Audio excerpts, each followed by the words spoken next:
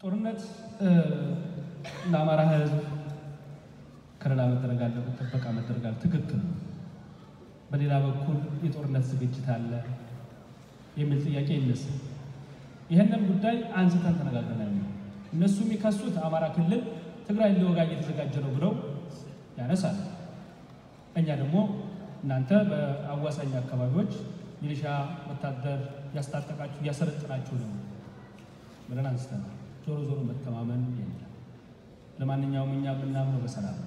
በጦርነት የምናጠፋው ነገር ሊኖር ይችላል እንጂ የምንፈታው ችግር ይኖራል ብለን አናምንም።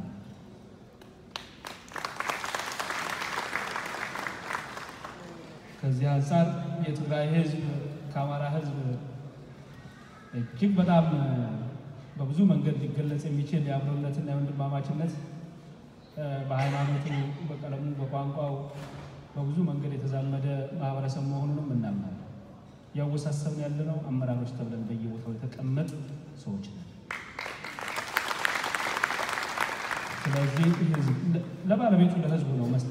ዛሬ ቅዳሜ ታህሳስ 3 ቀን 2013 ዓ ም ለንባብ የበቃቸው ፍትህ መጽሔት እኔና አባቴ በኮሪያ ምድር መዓዛ አምባቸው መኮንን ያቀረበችውን ጽሑፍ እንደሚከተለው ይዘነዋል።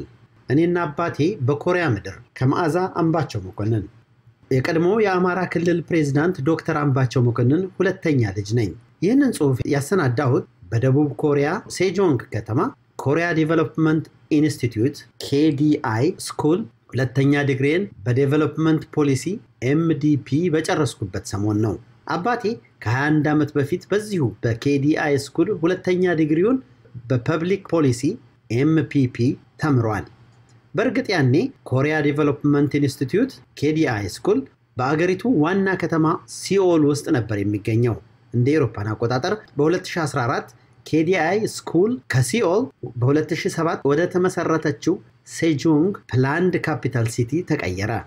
አባቴ እዚህ KDI School በሚማርበት ዘመን የአምስት ዓመት ሕፃን ነበርኩ። ብዙ የማስታውሰው ነገር ባይኖርም ስለ ኮሪያ መስማት የጀመርኩበት ዕድሜ በመሆኑ ግን ትዝ የሚሉኝ ነገሮች አሉ። በወቅቱ አእምሮዬ ከኢትዮጵያ ውጭ ያለችው ዓለም ኮሪያ ብቻ ትመስለኝ እንደነበር አልፎ አልፎ ሲታወሰኝ ብቻዬን እስቃለሁ። አምባቸው የመጀመሪያ ዲግሪውን ከጨረሰ በኋላ የተመደበው ባህር ዳር በመሆኑ መኖሪያችን በቀበሌ 15 ከሚገኙ ቁጠባ ቤቶች በአንዱ ነበር። ባህር ዳር በከተምን በስድስተኛ ወሩ ለሁለተኛ ዲግሪ ወደ ኮሪያ ሄደ። በጊዜው የቤት ስልክ እንኳን አላስገባንም። ሞባይል ደግሞ ኢትዮጵያ የደረሰ አይመስለኝም። እናም አባታችን የቤተሰቡን ሁኔታ የሚከታተለው በጎረቤት ስልክ እየደወለ ነበር።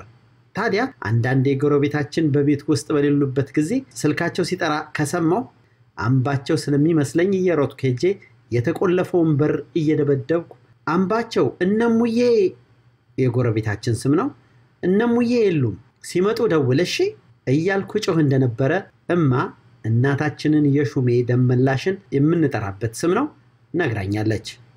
አይ ልጅነት ተመልሶ ቢመጣ እንዴት ጥሩ ነበር።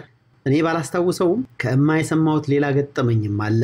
አምባቸው ብዙ ጊዜ ሲደውል ከእኔ በቀር ሁሉንም ያገኛቸዋል። በቤት ስሜ እንጡጡ ሴት አለች ሲል ይጠይቃቸዋል። ውጭ እየተጫወተች ነው ሲሉ ይመልሱለታል።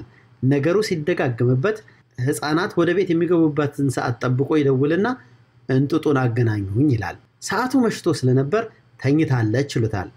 ቀስቅሶና አገናኙኝ ብሎ ይቆጣል። ነገሩ ብዙም ያልገባትማ ኧረ ተዋት ደሞ አሁን ከቀሰቀስናት አታስተኛንም ስትል ቀለል አድርጋ ትመልስለታለች። ረባሽ መሆኔን አስታውሳ ነው። በተደጋጋሚ ሊያወራኝ ፈልጉ ባላገኘኝ አባቴ ግን ይህ ምላሽ የሚዋጥለት አልነበረም። ይልቁንም መጥፎ ነገር ተፈጥሮ እየዋሹት ስለመሰለው በቃ ልጄ ሞታ ነው የማታገናኘኝ ብሎ ሲደናገጥ እማ ኧረ እንደሱ አይደለም ቆይ ላምጣልህ ብላ ከነሙልየው ቤት በውክቢያ መጥታ በእንቅልፍ ልቤ ተሸክማ ወስዳት አገናኘችኝ። አባቴ ድምፄን ከሰማ በኋላ ተረጋግቶ ከእሷ ጋር ተጫውቶ መሰነባበቱን ነግራኛለች። ካደግኩ በኋላ የትም ይሁን የት የልጆቹና የአገሩ ጉዳይ አንጀቱን እንደሚበላው ታዝቤያለሁ። በኮሪያ በነበረ ጊዜ የ1992 ዓ ም አዲስ ዓመትን አብሮን ባለማሳለፉ የተለያዩ ስጦታዎችን ልኮልን ነበር። ከነዚህ መሃል በዛ አድርጎ የላከው ቡኒ ከፋይ ጨርቅን እማ ለእሷ ለታላቅ እህቴ ኒኒ እና ለእኔ ቀሚስ አሰፍታ በአንድ አይነት ልብስ አጊጠን ማሳለፋችንን አልረሳሁም። ከቅርብ ጊዜ ወዲህ እናትና ልጆች አንድ አይነት ልብስ መልበሳቸው በስፋት የተለመደ ፋሽን እየሆነ መሄዱን ስመለከት እኛም በከፋይ ቀሚስ የዘነጥንባትን ያኔዋን በአደይ አበባ ያሸበረቀች መስከረም ወር ያስታውሱኛል። በወቅቱ ከከፋይ ጨርቁ በተጨማሪ አባታችን እያንዳንዳችንን በተረዳበት መልክ የሚገልጹ ጽሑፎችን በጀርባቸው የያዙ ፖስት ካርዶችም ልኮልን ነበር። ካርዱ ላይ የታተሙትን ስዕሎች ለምን እንደመረጠልን ጠቅሶ ሲያበቃ መልካም ምኞቱንና ወደፊት እንድንሆንለት የሚመኝልንንም እጅግ በሚያምረው የእጅ ጽሑፉ አስፍሮባቸዋል። ዛሬ ድረስ ለእናቴ ለነኒና ለእህቱ አጀቡሽ የተላኩት ፖስት ካርዶች በክብር ሲኖሩ የእኔ ልጅ ስለነበርኩ ከእጅ አልለየውም በማለቴ ወዲያው ነበር የጠፋብኝ። እናም የእነሱን ፖስት ካርድ ባየሁ ቁጥር ቀናለሁ። በተለይ አሁን በወቅቱ ለእኔ የመረጠልኝ ስዕልና ወደፊት እንደሆንለት የተመኘልኝ ዛሬ ድረስ በልቤ ታትሟል። የላክልኝ ፖስት ካርድ ላይ ሁለት ሴቶች ደረታቸውን ነፋ አድርገው ከአድማስ ባሻገር የፀሐይ ግባትን sunset እየተመለከቱ የሚያሳይ ከ side view የተሳለ የሚመስል ስዕል ነው። ጎልቶ የሚታየው በጣም የሚያማምሩ አይኖቻቸው ነው። የወደፊቱን ብሩህ ተስፋ የሚያዩ ይመስላሉ። በፖስት ካርዱ ጀርባ ላይ የተጻፈውን የመልካም ምኞት መልእክትን ደግሞ የራሱ የአምባቸው የእማና የእህቶቼ እርዳታ ታክሎበት አንድም ቃል ሳላጎድል በውስጤ አኖሬዋለሁ። እንደ ፈንዲሻ የፈኩ አይኖችሽ የወደፊት ብሩህ ተስፋሽ ያማረ እንዲሆንልሽና ልክ እንደዚህ አይኖቻቸው የሚያማምሩ ውብ ሴቶች በራስሽ የምትተማመኚ እንድትሆኚ በመመኘቴ ነው ይህንን ፖስት ካርድ የመረጥኩልሽ የሚል ነበር። አባቴ እወደዋለሁ። ከኮሪያ ሲመለስ የተማረባትን ሳምሰንግ ላፕቶፕ አምጥቷት ብርቅና ድንቅ እንደሆነችብንም አስታውሳለሁ። በዚያን ወቅት ባህር ዳር እኛ በነበርንበት ሰፈር color TV እንኳን በተወሰኑ ሰዎች ቤት የነበረው እንኳን ኮምፒውተር ያውም ላፕቶፕ አምባቸው ቀላል ነገሮችን እያሳየን በላፕቶፕ እንድንማርና እንድንለማመድበት ያደርግ ነበር። እሱ ወደ ስራ ሲሄድ ሙዚቃ ማዳመጥ፣ ስዕል መሳልና የመሳሰሉትን ያሳየንን በመተግበር ስንሞክር እንውላለን። ትንሽ ስለሆነች በልጅነት አእምሯችን ወደድናት።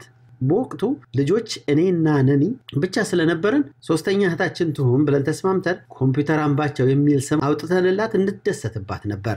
ዘጠነኛ ክፍል እስክደርስ እንደተጠቀምንባት ትዝ ይለኛል። ከዚያ በኋላ አገልግሎቷን ስለጨረሰች ቅርስ አድርገን በክብር አስቀምጠናታል። አሁን ደግሞ የቅርስነት ዋጋዋ የበለጠ ከፍ በማለቱ ከፍ ባለ ቦታ ላይ አኖረናታል። የአባትና የልጅ መንገድ ደቡብ ኮሪያ ወደሚገኘው KDI School ለማመልከት የወሰንኩት አንዲት ኮሪያዊት የአምባቸው ወዳጅ ለስራ ኢትዮጵያ በመጣችበት ጊዜ እኛም ጋር ለቅሶ ልትደርስ ጎራ ብላ ነበር። በዚህ ወቅት ነው KDI School scholarship እንዲያመቻችልኝ ማመልከቻ እንድጽፍና process ኡን እንዳሳውቃት የነገረችኝ።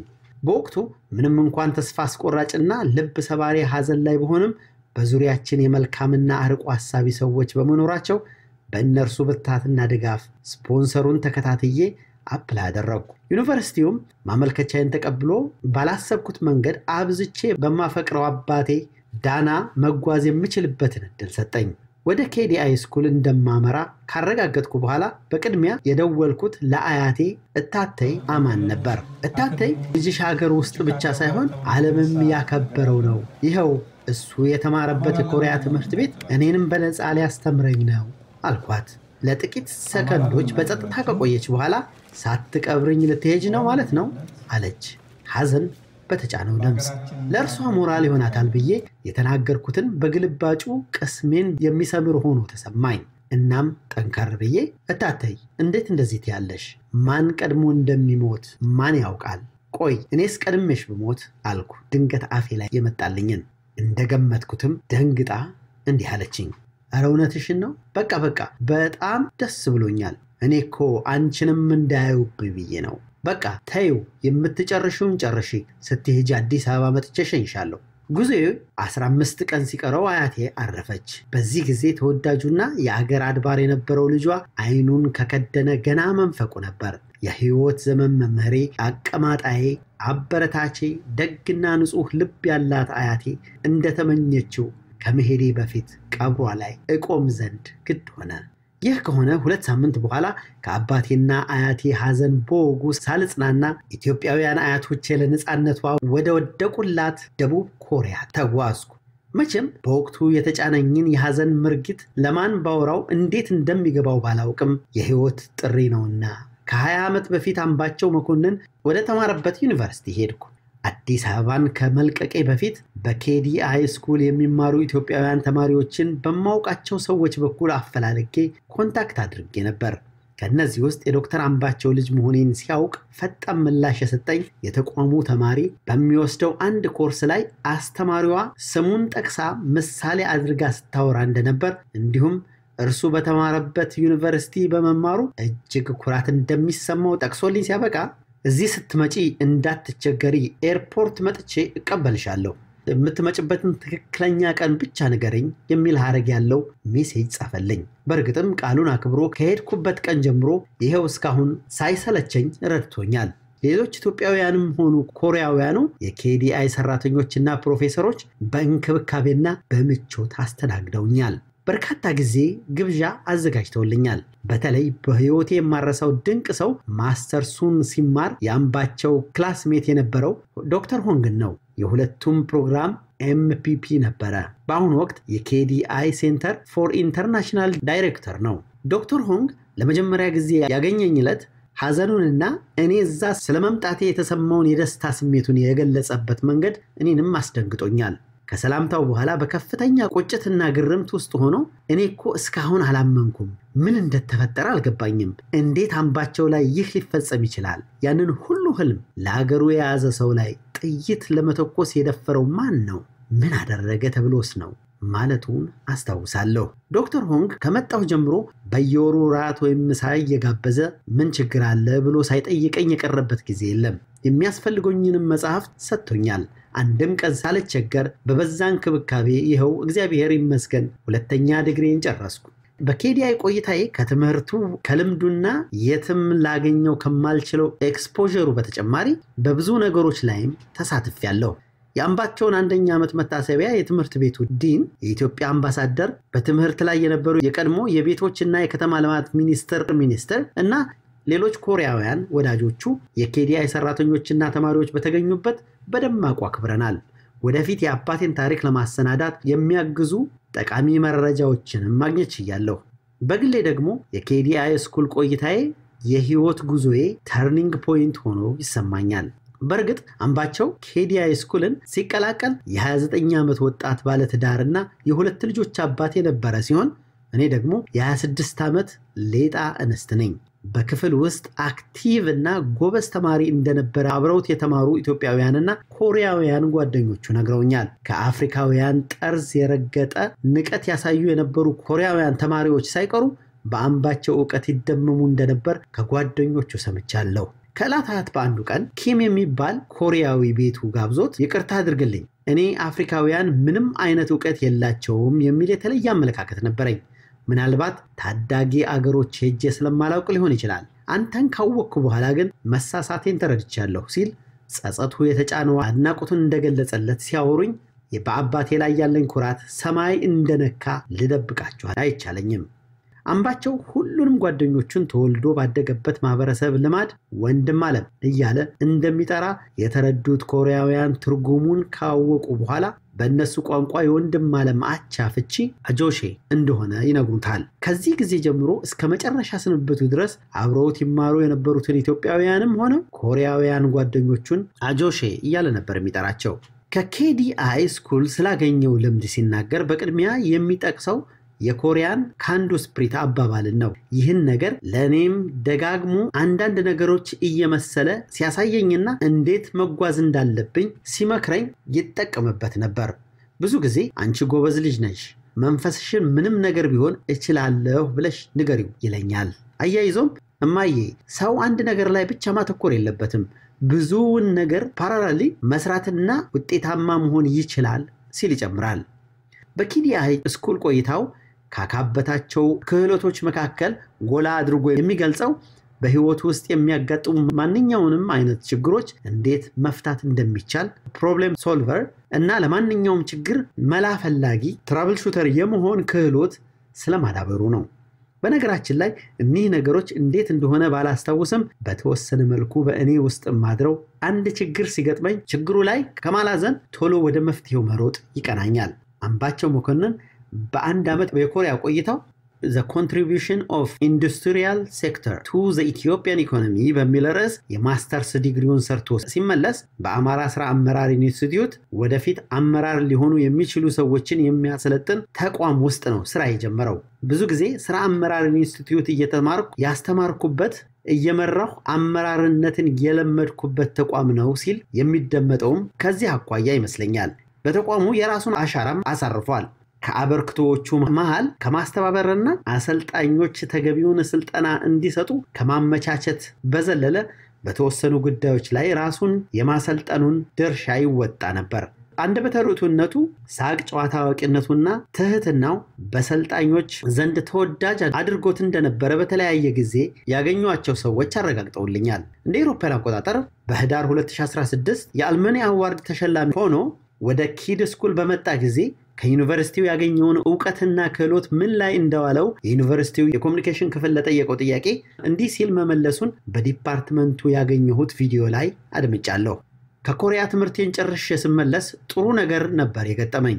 ይኸውም አገራችን ኢትዮጵያ ኢኮኖሚያችንን ለማሳደግ የትኛው መስመር ይሻል እንደሆነ በመፈለግ ላይ ነበረች። እናም በኢኮኖሚ ፖሊሲና ስትራቴጂ ከ agriculture ወደ ኢንዱስትሪ ተሸጋግረን ኢንቨስትመንትን ኢንዱስትሪን እና ኤክስፖርትን እንዴት promote እናደርግ፣ እንዴትስ industrialization ን እናስፋፋ የሚል የፖሊሲ አጀንዳዎች ተቀርጸው ትልቅ ኮንፈረንስ ተዘጋጅቶ ነው እኛ የደረስነው። በአጋጣሚ የተዘረዘሩትን አጀንዳዎች እኔ በኮርስ መልክ እያንዳንዳቸውን ተምሬያቸዋለሁ። እናም በዛ ኮንፈረንስ ላይ በንቃት እንድሳተፍ አድርጎኛል። ስለ ኮሪያ የኢኮኖሚ እድገት ልምድም በስፋትና በተደጋጋሚ እናገር ስለነበር በጊዜው የነበሩ የስራ ባልደረቦቼ ከኮሪያ የኢኮኖሚ ልምዴ ጋር አገናኝተው አምባቸው ኮሪያ እያሉ ይጠሩኝ ነበር። ይህንን መረጃ ያገኘሁት KDI School ከመጣሁ በኋላ ካሰባሰብኳቸው ቃለ መጠይቆች በአንዱ ውስጥ ነው። አባቴ ከ21 ዓመት በፊት በተማረበት ትምህርት ቤት እሱ በሕይወት ባይኖርም እኔም ተምሬበታለሁ። ወደ ሴኡል ከተማ አምርቼ እሱ ሻይ ቡና ባለበት ቦታ ሻይ ቡና እያልኩ walk ባደረገበት ቦታ walk እያደረግኩ ከደጋጎች መሃል ያረፈ መንፈሱ በዙሪያዬ የሰፈረ ያህል እስኪሰማኝ ድረስ ሐሴት አድርጌያለሁ።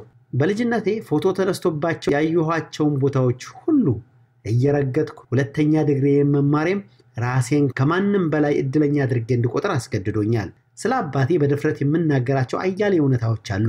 በአገር ጉዳይም ሆነ ባመነበት ነገር ሕይወቱን ለመስጠት የማያመነታ ጀግና ነው። ሁሌም ፈሪሃ እግዚአብሔር ያለው ሰው ነው። መጽሐፉ ኢየሱስ ክርስቶስ ስሙም ቅዱስ ነው፣ ለሚፈሩትም ምሕረቱ ለልጅ ልጅ ነው እንዲል ለእርሱ የተላከው ምሕረት ለእኛም ተርፏል።